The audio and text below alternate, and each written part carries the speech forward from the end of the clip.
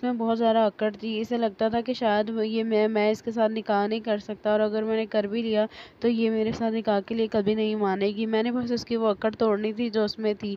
अब मैं वो सब कुछ कर चुका हूँ। अब मेरी मर्ज़ी है, मैं ये रिश्ता रखना चाहूँ तो रख सकता हूँ और अगर तोड़ना चाहूँ तो तोड़ भी सकता हूँ।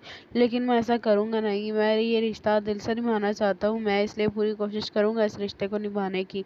बाकी वो जो उसकी अकड़ थी वो तो मैंने तोड़ ही दी है। वो अपने आप में बहुत ज़्यादा गलत फहमियाँ रख कर फिर रही थी कि शायद वो सलमान से शादी कर लेगी, उसके साथ रुखसत हो जाएगी, मेरे साथ वो निकाह नहीं करेगी, लेकिन मैंने अपना बदला लेने के लिए सब कुछ किया है। जिस पर उसकी नानी उसे बहुत ज़्यादा डांटती हैं, वो कहती हैं कि हमने कभी तुम्हारी तरबियत ऐसी नहीं की, ना ही हमने तुम्हें कभी ऐसा कुछ सिखाया था। तुमने क्या सोच कर ये सब कुछ किया है? सलारू ने कहता है कि, दादी, मैंने ये सब कुछ जानबूझकर नहीं किया। उस लड़की ने मुझे मजबूर किया था ये सब कुछ करने पर। अगर मैं ये सब कुछ जानबूझकर करने वाला होता तो मैं बहुत पहले कर चुका होता, लेकिन मेरी मजबूरी को समझे मैंने ये सब कुछ जानबूझकर नहीं किया। उसने मुझे ये सब कुछ करने पर मजबूर किया था। मैं चाहता था उसको छोड़ भी देता, लेकिन उसने मेरे साथ बदतमीज़ी की थी। मैंने उसका बदला तो उससे लेना था ना। सालार की नानी ये बातें सुनकर बहुत ज़्यादा परेशान होती हैं, लेकिन वो उससे कहती है कि तुमने ये सब कुछ ठीक नहीं किया। अगर कल को तुम्हारी बहन के साथ कोई ऐसा करे तो फिर तुम्हें ये सब कुछ अच्छा लगेगा। तुमने अपने, अपना